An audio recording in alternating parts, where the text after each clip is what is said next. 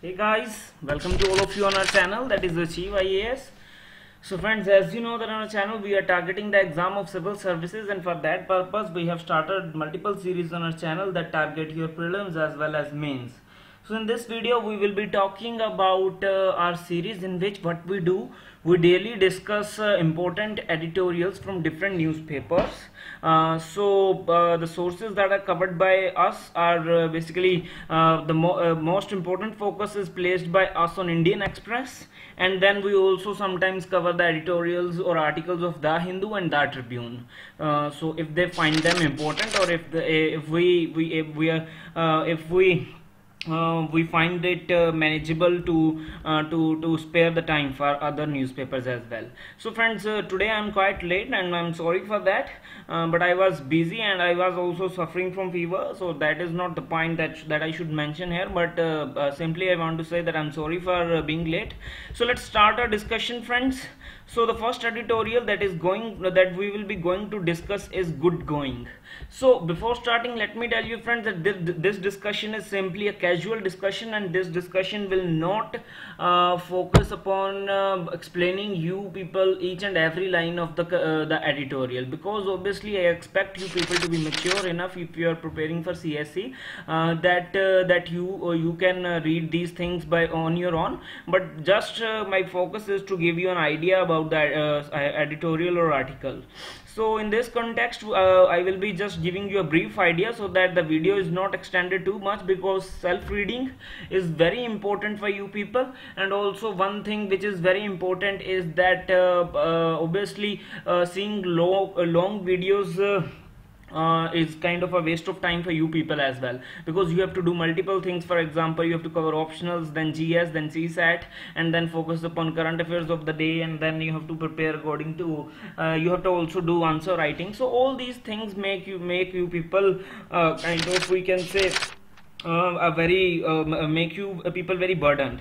So for that purpose this discussion will be brief. So let's start our discussion friends. Uh, so the first article is good going. So this is in context of uh, uh, the india bangladesh relations so recently you might be aware of the fact that bangladesh prime minister sheikh hasina was on a visit to india so in this context this article has been uh, uh, written. So this article basically uh, says that now india and bangladesh enjoys uh, good relations. But the point uh, here the uh, editorial or the article wants to highlight is that still our economic policy is such that there is unpredictability in it. And indian economic policy makers perhaps they are not aware of the uh, interlinkage that is uh, there and uh, uh if we want to promote uh, uh, regional integration then we must pay attention to our neighbors as well while framing our economic policies so you need not read uh, this article uh, on this uh, on in this video by pausing the video you can read it um, in newspaper or later on but just I request you to listen the things that I want to highlight highlight so here recently the article says that uh, uh, the example of this uh, economic policy uncertainty can be seen in recent ban of um, by a recent ban or perhaps perhaps virtual ban by India on on the export of onions. So the, this thing has been complained by by the Prime Minister of Bangladesh, which which talked about the impact of this move on the on on on Bangladesh because uh, uh, it it, uh, it it uh, it faced a shortage of onions uh, due to it so uh, uh, uh, actually the complaint was not uh, relating to the decision but relating to its nature that is unilateral and abrupt nature. Because uh, this has caused shortage and uh, the she the prime minister of bangladesh pointed out that this sudden and unilateral nature is unwelcome. So Sina said that her government could have made alternative arrangements for onion onion import if if Delhi had could if Delhi had informed Dhaka in advance so in, in this point the author wants to highlight that this is a kind of a hangover of our uh, auto uh, uh, uh not uh, uh, our, our, anti-market orientations. And autarkic i don't know how to pronounce it but but our market orientation that was prior to 1991 so we followed a kind of we can say very controlled economic policy. So this is a kind of we can say a step in one of the one of the kind of we can say pattern of our economic policy. So also author wants to highlight that cattle smug, uh, cattle uh, uh, India is not in favor of uh, exporting cattle to uh, to Bangladesh because uh, where it is treated as a staple. Um, but this has encouraged then smuggling so in this context also when uh, uh, there is uh, interdependence upon, uh, between india and bangladesh and uh, uh, then then obviously then this the as the as these fast economic growing countries get more and more we can say engaged with each other this inter interdependence must be we can say must be in the mind of the economic policy makers of india. So also the author highlights by giving one more example that is of demonetization which uh, uh, led to a significant impact uh, in, in Nepal and Bhutan because their economy is very we can say interlinked with Indian economy. So also then there is growing anxiety in Bangladesh about the exercise of National Register of Citizens that is being prepared in Assam. So India must uh, uh, we can say uh, consider the views and we can say uh, the reservations that uh, that the Bangladesh is showing, showing in this context.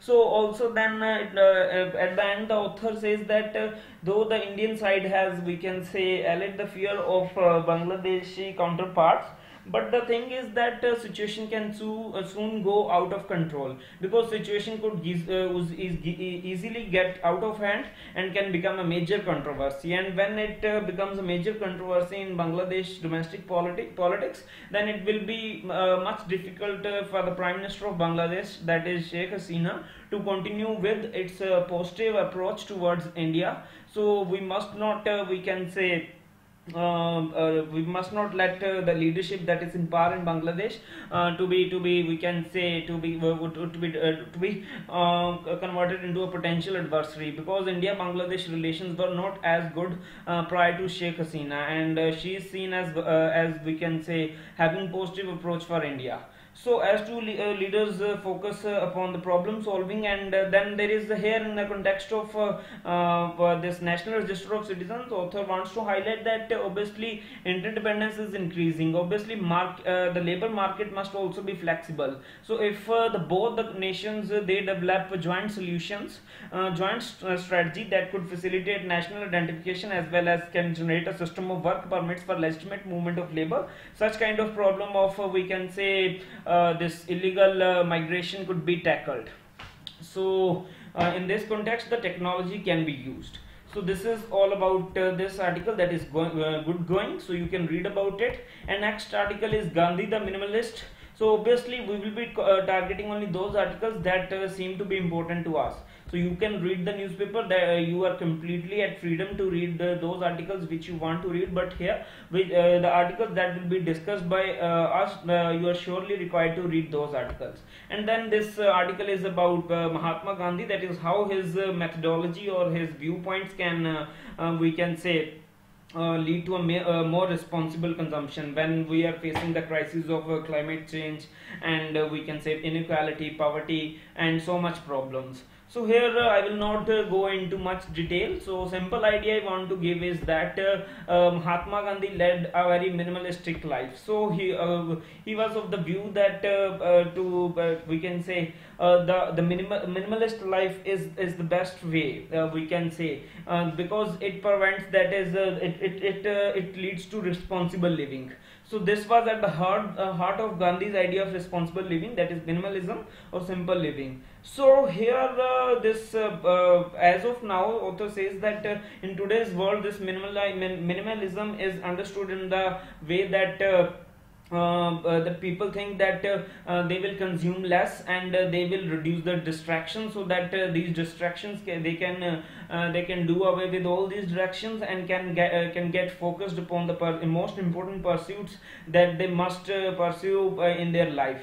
Uh, so that they can uh, excel in life and can achieve big so that is basically we can say author says that uh, minimalistic uh, life uh, uh, uh today is understood in these terms. Because uh, obviously uh, this understanding is based upon the fact that uh, we have uh, in today's digital world we hardly find time when we we don't receive notifications or over our mobile phones over internet and other we can say attention stealing we can say activities or or things so in that context, uh, but uh, uh, the author says that uh, uh, Gandhi, uh, Gandhiji's the, the minimalism of Gandhiji is not a we can say tool to achieve freedom. It is basically we can say an end in itself because today we want to live free. We want a freedom. We want freedom and also we want want to be free from we can say worry, anxiety, and then depression and all those things but in that context uh, uh, freedom itself becomes the end goal. But in uh, as per gandhi's minimalism so minimalism is not a, a, tool to achieve freedom because certainly it, it leads to freedom because when you find time for yourself you are not bound by such attention taking attention stealing activities. But then it is a kind of we can say minimal, minimalism in terms of gandhi was an end in itself. So because uh, in, in today's if we consider in today's world then there are two prominent ideologies that are now prevalent. That is uh, the liberal liberal ideology and then the conservative ideology. So uh, liberal ideology focus uh, focuses excessively on uh, on an individual. So in that context it talks about uh, that individual can excel in life can do can we can say can lead the successful life but it doesn't take into consideration what should we do to to ensure the benefit of poor sections of society or the vulnerable sections of society. So here uh, uh, the authors uh, highlights that here the approach of Gandhiji that is minimalism uh, matters because when min minimalism was an uh, was an end in itself arose out of ethical ob obligations to the other. So how how uh, it is different? So it is a it basically traverses complex ethical web. Web. It is not. It obviously it is totally we can say in not in consonance with conservatism, but then it is also not consonance in in in in your liberal liberal context. Because uh, here the liberal as i've told you it focuses upon the individual excessively. So it is basically uh, gandhi's minimalism is basically a passion for the others. A, pas a passion to serve others and then uh, uh, to by by serving we, by ensuring that it is not the passion, just passion of the self that is at the for forefront of this minimalism but a responsibility towards others as well. So here gandhi's minimalism minimalism hopes that this will not just ensure the freedom of ourselves but the freedom of others as well as uh, as well whom we perceive as others and who are vulnerable. So that is basically a kind of a, it is it is a kind of a we can say value system which we which must be pursued and it must be the end and not the freedom must be end. Because uh, freedom of individual is not that worth uh, uh, when when uh, his or her fellow citizens or uh, fellow human beings are suffering. So there must be a kind of we can say cooperative liberation so that uh, that, that is the idea of gandhi's minimalism. So what why what uh, why this article is important? Friends this article such type of articles are important to to make you intellectually sound. Because th that doesn't mean that you are intellectually unsound. That means uh, it, it, it such type of articles bring you introduce to you to the uh, these morality ethic, ethical issues. And then also it makes you uh, it helps you in writing beautiful essays. But that is a kind of a utilitarian approach that uh, it will help you fetch better marks. But uh, simple thing is that such of such type of articles help in your intellectual development because you not you just not become a, kind of uh, uh, that that we can say uh, a person who is just doing it for the sake of uh, doing uh, that is for the sake of becoming IAS it, it basically this type such type of article, uh, articles help you realize or grasp things and help in your intellectual de uh, development. And uh, you think then you think like when intellectual development takes place you think like a uh, thinker. So that is of very uh, immense importance uh, so far as uh, your uh, life is concerned. So it is not just limited to upsc but uh, your way of life also it touches your way of life and has a has an important role to play in your way of life. And then third article is there a buffer called saudi arabia. So simply here the author wants to highlight the importance of Saudi Arabia in India's context. So uh, the author starts by uh, citing two different uh, instances and one fact so two different uh, developments that uh, come that come to uh, the mind of the author are basically the first is that the attack on the saudi oil and gas infrastructure in in last few months. And then other development is the increasingly we can say we can say belligerent type of propaganda of pakistan against india. So uh, uh, the Pakistan is using very irresponsible language for India, and uh, it is going to the extent that a nuclear war can happen. So such irresponsible behavior, and uh, then first uh, first development that is the attack on Saudi uh, Saudi Arabia's oil and gas infrastructure is a kind of context in which the author wants to write. So fact is that location uh, so simply the fact is that we have we also have such type of assets that is oil and gas infrastructure. And uh, majority of such uh, um, uh, such uh, infrastructure is uh, on or off our or western western coastline that is for example Mumbai high and then there are other also other other locations so, for example, in the Dahej, Hazira, the the Bhol and Cochin. So, all these all these are we can say important. Uh, we can say uh, it is an important infrastructure of uh, or of India's oil and gas industry.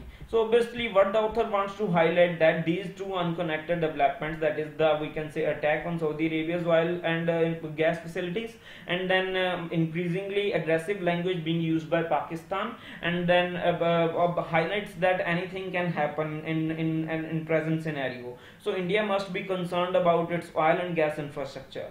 So because Pakistan is increasingly uh, uh, using a very aggressive rhetoric against India and then uh, there is also possibility about uh, uh, we can say this the the attack on our oil as well as gas infrastructure. Because uh, when Saudi Arabia's oil and gas infrastructure which is uh, which is protected by which which uh, which was protected by basically sophisticated US Patriot anti-missile defense systems so even that uh, so even the, uh, the infrastructure of such a country cannot be safeguarded then also India must uh, think of its own on on energy infrastructure so that nothing adverse happens because and, and this specifically gains important in the importance in the context of uh, Pakistan using aggressive rhetoric against India. So uh, uh, obviously the the Saudi facilities were safeguarded with the premium technology, but then what what if any other steps that India has India has or it can take to strengthen the we can say security safeguard so that uh, the we can say the cost of any uh, attack on such uh, on such an infrastructure can be we can say raised so that the Pakistan or any other entity doesn't engage in uh, uh, we can say sabotaging activity against India.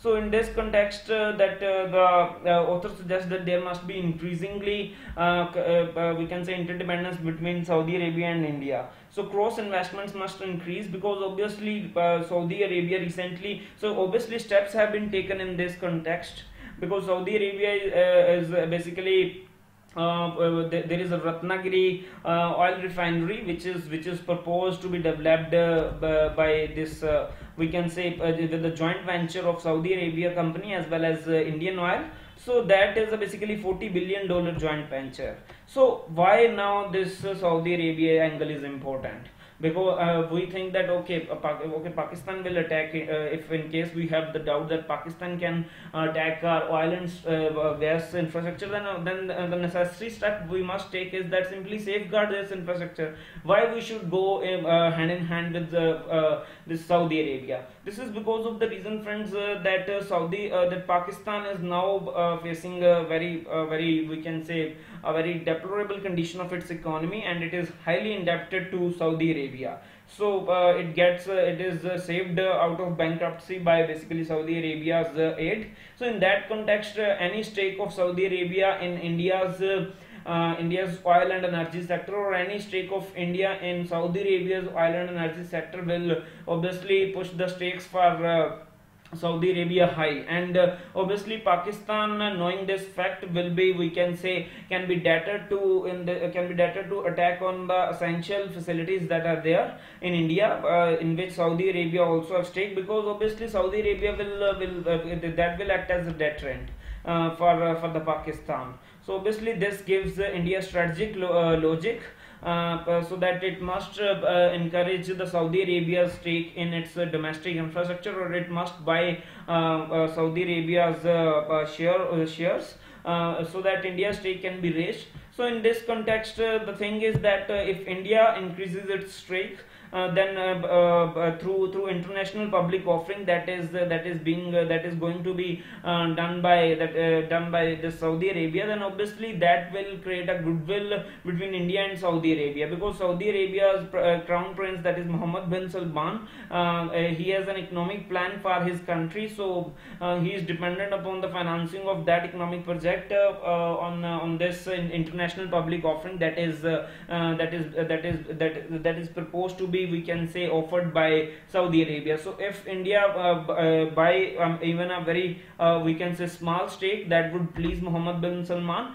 And he uh, and this the, this increased interdependence between India and Saudi Arabia or increased understanding between these two countries will prevent any Pakistan Pakistan's misadventure so in this context, uh, uh, the author concludes that though this must uh, must not be considered, uh, that such cross-country investment will provide an ironclad uh, uh guarantee because obviously risks are always there, and when you have when you adopt very high, very aggressive rhetoric, it is it it is also possible that uh, that rhetoric can be turned into a reality but uh, then cost will be we can say uh, will be will be will be very, will be very high for pakistan. So that could uh, we can say in fact uh, then saudi arabia can be used as a buffer in this context. So this is about uh, today's discussion because friends already 21 minutes have passed so you might have liked this video. So i'm not i don't want to extend this video further so if in case you like the discussion then do ensure that you like it share it with your friends and also ensure that you subscribe to our channel. And lastly friends uh, if you have any doubts if you have any queries you can, you are willing to contact us. Um, the the link uh, the we can say our contact details or uh, our mail id is given in the description box. And also friends we have daily mains answer writing initiative uh, which you people can join in which what we do we daily give you one question of which you have to write the answer and we provide feedback on that on that answer so if you if you are willing to join that initiative you're more than welcome. You can check the details about the program in the description box. So you can also ask your queries on uh, um, on, on, on regarding this uh, initiative through through the contact details that are given by us in the description box. So this is all about friends. Today's video. Thank you. Have a very nice day